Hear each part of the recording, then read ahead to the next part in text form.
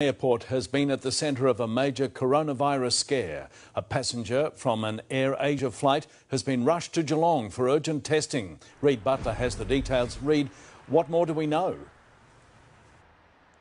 The patient is in his 30s and he is right now quarantined here at University Hospital in Geelong. We know he started exhibiting symptoms on board Air Asia flight D7218 from Kuala Lumpur. That plane touched down at Avalon Airport this morning on the tarmac. Paramedics taking no chances, wearing full protective gear as they took the patient via ambulance here to hospital. Now, from our vision, you can see the patient looking quite weak. He's wearing a mask and gloves as he's greeted by more specialists here at the hospital hospital, and they're also wearing full protective clothing. Now, if it is found to be the deadly coronavirus, passengers who are also on board that Air Asia flight will be contacted. That's what's happening in Tasmania, where officials are in the process of contacting passengers who are on board the Virgin flight from Melbourne to Launceston on Saturday. A coronavirus sufferer was found to be on that plane. He's currently in a stable condition. The results of this test are due tomorrow. If anyone was on either of those planes, and they're feeling unwell, they should contact the public health hotline